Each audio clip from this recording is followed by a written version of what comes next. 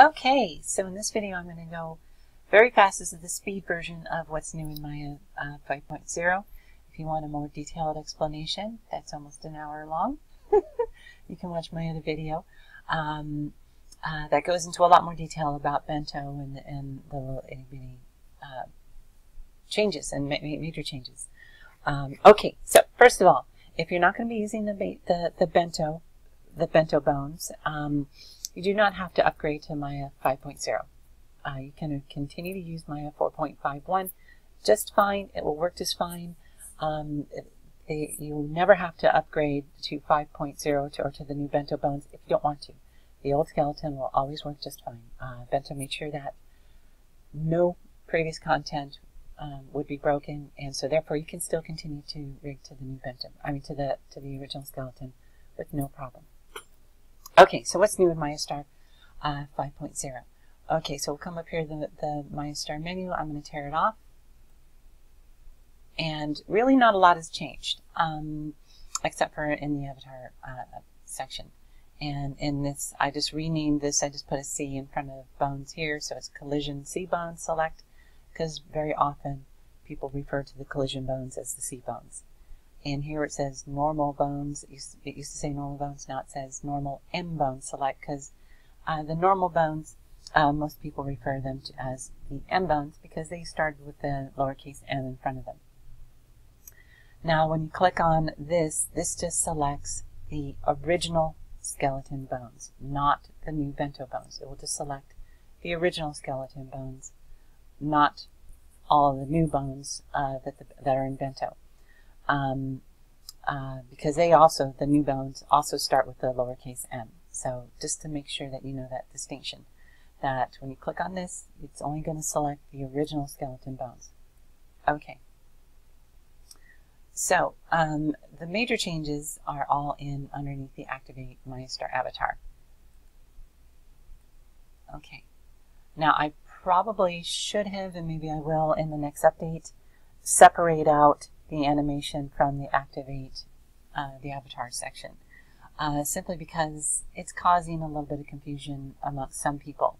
They think to animate the female, they just click on Animate Original Female and they get the error down here. Okay. And um, that's causing an error because you have to first activate an avatar in the scene first. And that's why I should have probably separated these two. Um, so first you have to activate one of the four avatars. So you have female original, that's the original skeleton, that's the original Maya Star avatar. So that is all exactly the same. So you can upgrade to Maya Star 5.0 and continue to use the originals and have access to all these. So you can upgrade if you want um, and still use the original if you want to, or you don't have to upgrade if you don't want to. You can still use Maya 5. Point, or Maya 4.51 or older. Um, and then, uh, so you click on this to activate the original female, just like the Maya was before. And then do your rigging and all that. And after you're done rigging, save it. And then if you want to animate uh, your, your clothes, you know, just to animate something, say you did a purse or something, you want to animate it, you would then, after you rig it, hit animate original female. And then you can animate your, your avatar just like before. Okay. So that's the female. Let's go new scene and save. And the original male is still there too. And animate original male. Said you have to you have to activate the male first and then we can animate. Okay, now let's do the bento. Now here's the bento female. Bento female. And here's a bento, and you can see that it has extra bones. And you can see over here in the layers menu, there's the bento head and bento eyes. And there are the new bento bones. And you can, the same female animate, I mean, female avatar appearance editor works for both the original and the new bento bones, and the same way with the male. And if we go here to the head and say we do the egg head, you see that the bones are moving. Okay, so that's what makes the new uh, bento head female. Now that does the size and that does the shape. Is that those are the bones, is the egg head. Those are the bones that um, are changing. This is not changed with morphs. This is a head rigged to the bento bones. Go back to mesh default. And then there's the default head. And that changes with morphs. And you'll notice that the bento eyes um, change and they're getting a little bit off. So if you're making a bento head, you want to rig to the to the um, the eyes. But like I said, um, to the to the alt eyes, the M face alt eyes, left and right. Uh, but that goes into that's going into watch the other video for Maya Star 5.0 that goes into a lot of details explaining all this. I'm just showing you what's new. But the sliders all work. That's the original head. And there's the bento male head. um, and then there's the, the bento, the bento female head. I should probably have deleted this, this head out of there. Um, so, but anyway, um, uh, there's the female head, and that's being changed by the bones moving. We go to um, X-ray. See that the bones move and that's what's changing the shape. And they act just like they do in Second Life. Okay, now let's turn off X-ray. Okay. So, um, and then let's animate bento female. And there's the bento female just a simple rig like I say. I go into a lot more detail in the other video if you're really interested in this. Okay, the other big changes are we have two different exporters, uh, exporters. Uh, the original 1.5, um, and this is good for, okay, 1.5 exports out rotation on all the bones and will only do translation animations on on this where you actually move the avatar well, that's interesting. Why is her belly doing that? I've never seen that happen before. It's really interesting. I don't know what's causing that movement. Um, so, um,